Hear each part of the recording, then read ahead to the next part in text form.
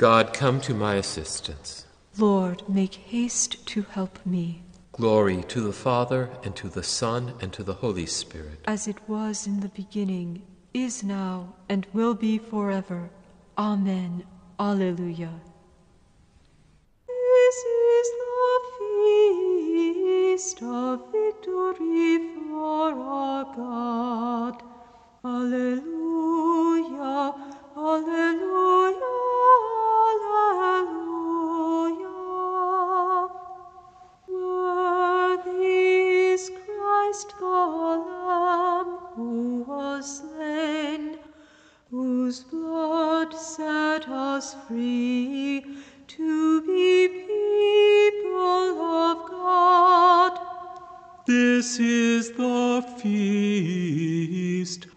Victory for our God. Alleluia, Alleluia, Alleluia. Power, riches, wisdom, and strength, and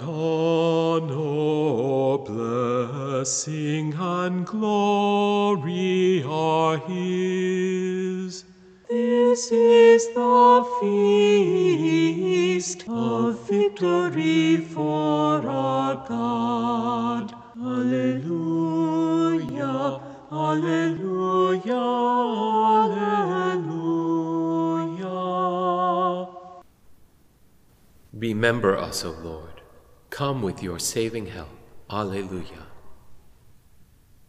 O give thanks to the Lord, for he is good, for his love endures forever. Who can tell the Lord's mighty deeds? Who can recount all his praise? They are happy who do what is right, who at all times do what is just. O Lord, remember me, out of the love you have for your people. Come to me, Lord, with your help, that I may see the joy of your chosen ones, and may rejoice in the gladness of your nation, and share the glory of your people. Our sin is the sin of our fathers. We have done wrong. Our deeds have been evil.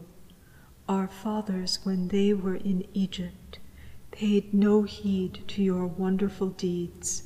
They forgot the greatness of your love, at the Red Sea defied the Most High. Yet he saved them for the sake of his name, in order to make known his power. He threatened the Red Sea. It dried up. And he led them through the deep as through the desert. He saved them from the hand of the foe.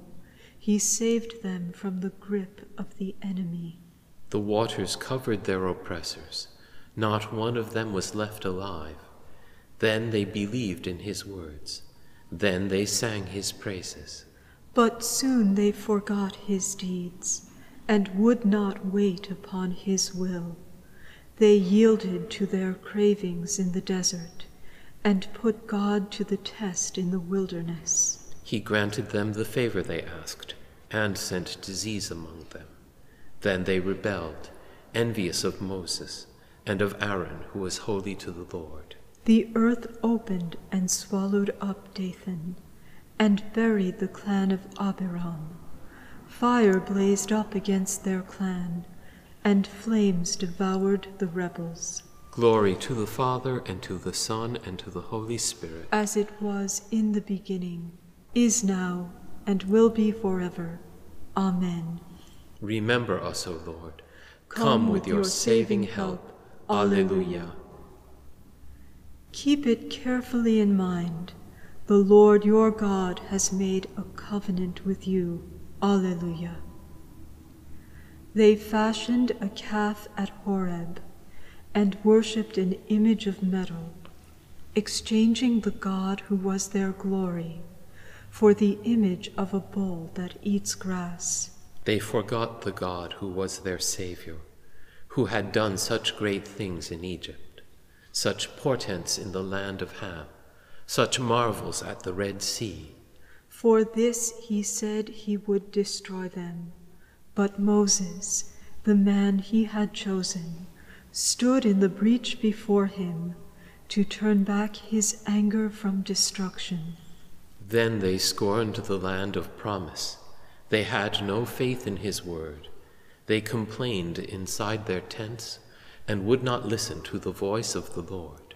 So he raised his hand to swear an oath that he would lay them low in the desert, would scatter their sons among the nations, and disperse them throughout the lands. They bowed before the Baal of Peor, ate offerings made to lifeless gods.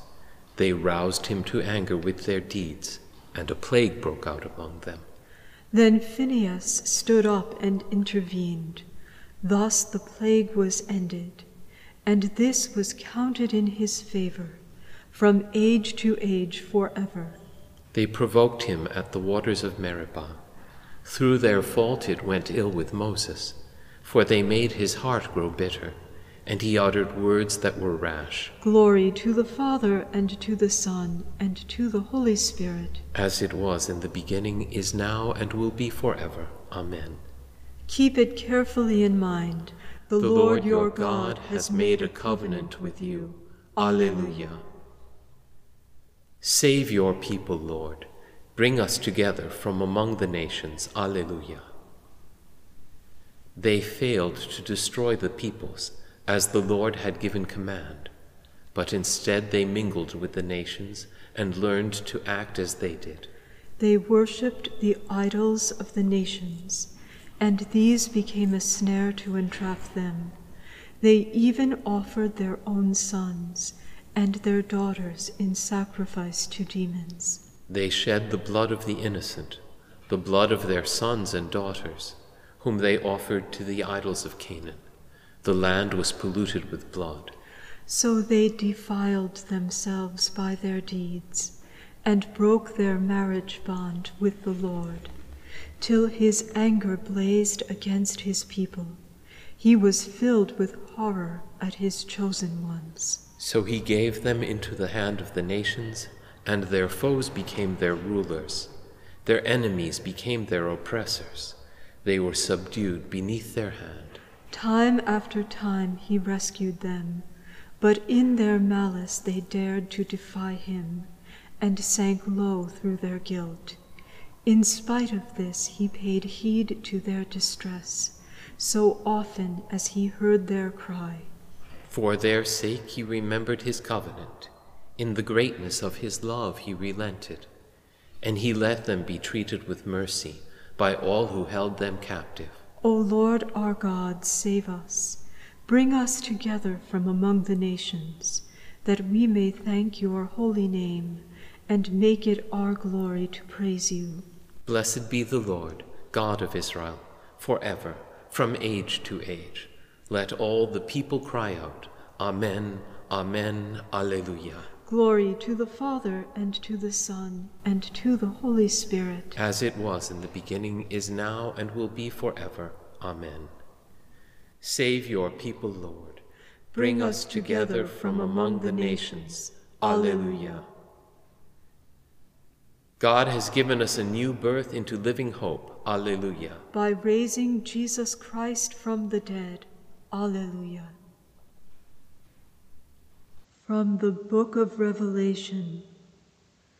In the right hand of the one who sat on the throne, I, John, saw a scroll. It had writing on both sides, and was sealed with seven seals. Then I saw a mighty angel who proclaimed in a loud voice, Who is worthy to open the scroll and break its seals? But no one in heaven or on earth or under the earth could be found to open the scroll or examine its contents. I wept bitterly because no one could be found worthy to open or examine the scroll. One of the elders said to me, Do not weep. The lion of the tribe of Judah, the root of David, has won the right by his victory to open the scroll with the seven seals. Then, between the throne with the four living creatures and the elders, I saw a lamb standing, a lamb that had been slain. He had seven horns and seven eyes. These eyes are the seven spirits of God sent to all parts of the world. The Lamb came and received the scroll from the right hand of the one who sat on the throne. When he had taken the scroll, the four living creatures and the twenty four elders fell down before the Lamb, along with their harps the elders were holding vessels of gold filled with aromatic spices, which were the prayers of God's holy people. This is the new hymn they sang. Worthy are you to receive the scroll and break open its seals, for you were slain.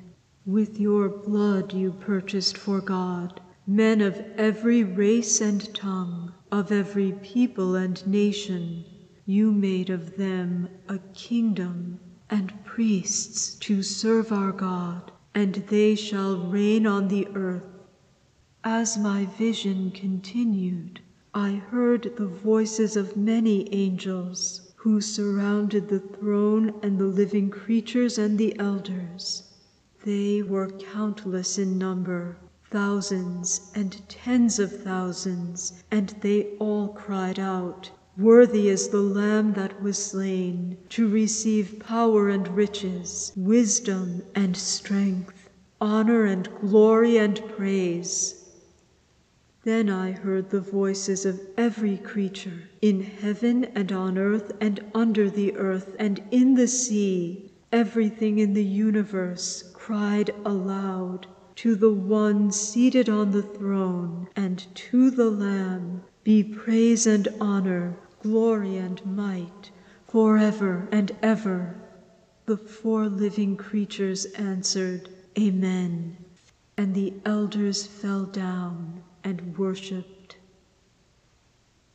Worthy are you, Lord, to take the book and open its seals, for you were slain for us with your blood you have purchased us for God. Alleluia.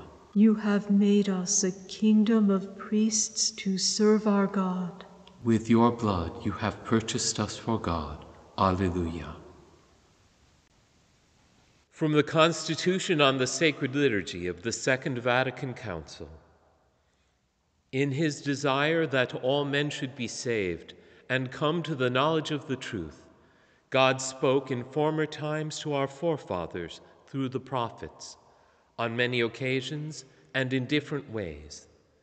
Then, in the fullness of time, he sent his Son, the Word made man, anointed by the Holy Spirit, to bring good news to the poor, to heal the brokenhearted as the physician of body and spirit and the mediator between God and men in the unity of the person of the Word, his human nature was the instrument of our salvation. Thus, in Christ, there has come to be the perfect atonement that reconciles us with God, and we have been given the power to offer the fullness of divine worship. This work of man's redemption and God's perfect glory was foreshadowed by God's mighty deeds among the people of the Old Covenant it was brought to fulfillment by Christ the Lord, especially through the paschal mystery of his blessed passion, resurrection from the dead, and ascension in glory. By dying, he destroyed our death, and by rising again, he restored our life. From his side, as he lay asleep on the cross, was born that wonderful sacrament, which is the church in its entirety. As Christ was sent by the Father, so in his turn he sent the apostles, filled with the Holy Spirit. They were sent to preach the gospel to every creature, proclaiming that we had been set free from the power of Satan and from death by the death and resurrection of God's Son, and brought into the kingdom of the Father. They were sent also to bring into effect this saving work that they proclaimed by means of the sacrifice and sacraments that are the pivot of the whole life of the liturgy. So, by baptism, men are brought within the paschal mystery. Dead with Christ, buried with Christ, risen with Christ, they receive the Spirit that makes them God's adopted children, crying out, Abba, Father, and so they become the true adorers that the Father seeks. In the same way, whenever they eat the supper of the Lord, they proclaim his death until he comes. So, on the very day of Pentecost, on which the church was manifested to the world, those who received the word of Peter were baptized. They remained steadfast in the teaching of the apostles and in the communion of the breaking of bread, praising God and enjoying the favor of all the people. From that time onward, the church has never failed to come together to celebrate the paschal mystery by reading what was written about him in every part of Scripture, by celebrating the Eucharist, in which the victory and triumph of his death are shown forth, and also by giving thanks to God for the inexpressible gift he has given in Christ Jesus, to the praise of God's glory. I am the true vine, and you are the branches. Whoever lives in me and I in him brings forth much fruit. Alleluia. As the Father has loved me, so I have loved you. Live on in my love. Whoever lives in me and I in him brings forth much fruit. Alleluia. Let us pray. God our Father, look upon us with love. You redeem us and make us your children in Christ. Give us true freedom and bring us to the inheritance you promised. We ask this through our Lord Jesus Christ, your Son, who lives and reigns with you and the Holy Spirit, God forever and ever. Amen. Let us praise the Lord. And give him thanks.